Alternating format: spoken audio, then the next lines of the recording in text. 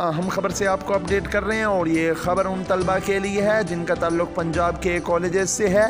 पंजाब के कॉलेजेस के हवाले से एक अहम तरीन अपडेट सामने आई है। पंजाब में कॉलेजेस में पढ़ने वाले तमाम तलबा व तलबात के लिए एक और पाबंदी आयद की गई। आपको बताते चलें को एजुकेशन सिस्टम पर पाबंदी लग चुकी है। पंजाब के तमाम प्राइवेट कॉलेजेस में को एजुकेशन सिस्टम पर पाबंदी लग चुकी है। यानी पंजाब भर के प्राइवेट कॉलेजेस में बीएस ऑनर्स में जो तलबा एजुकेशन से आरास्ता हो रहे हैं, उन तमाम तलबा पर पाबंदी लग चुकी है। तमाम कॉलेजेस के अंदर तलबा और तलबात के लिए अलग अलग क्लासेस होंगी। लड़के और लड़कियाँ इकट्ठे तालीम हासिल नहीं कर सकेंगे। पंजाब में कॉलेजेस के अंदर लड़के और लड़कियाँ इकट्ठी तालीम हासिल नहीं कर सकेंगे।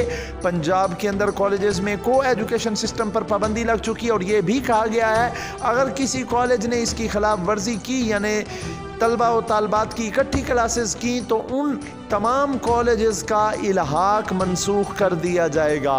पंजाब के तमाम प्राइवेट कॉलेजेस के अंदर को एजुकेशन सिस्टम के ऊपर पाबंदी लग चुकी है। लड़के और लड़कियाँ इकट्ठे एक ही कॉलेज के अंदर एजुकेशन हासिल नहीं कर सकते। ये तफसीलात थी। जैसे मज़ीद तफसीलात आएँगी, आपको आगाह कर दिया जाएगा।